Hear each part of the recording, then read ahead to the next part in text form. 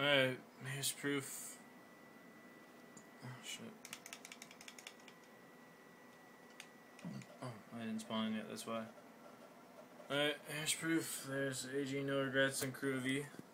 They claim they lagged at the beginning of the game, and that's why they're going to dispute. So what he said was he was at a one bar and tried telling us to switch hosts. Um, so I'm just going to give a quick fast forward through this game really quick.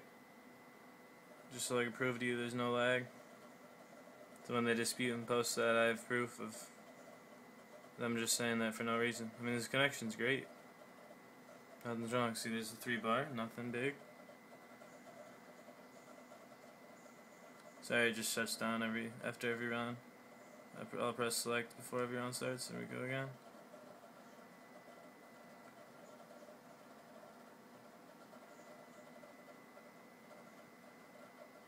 Still three barn.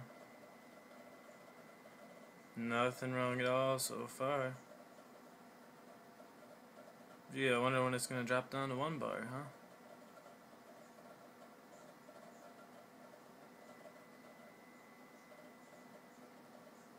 Yeah, corner camping. Default settings, why the fuck not, right?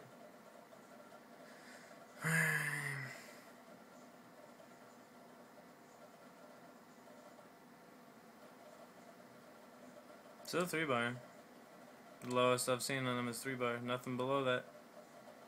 Yeah, still three bar. Yeah, three bar the whole game. There you go. There's proof. Four to one. No lag.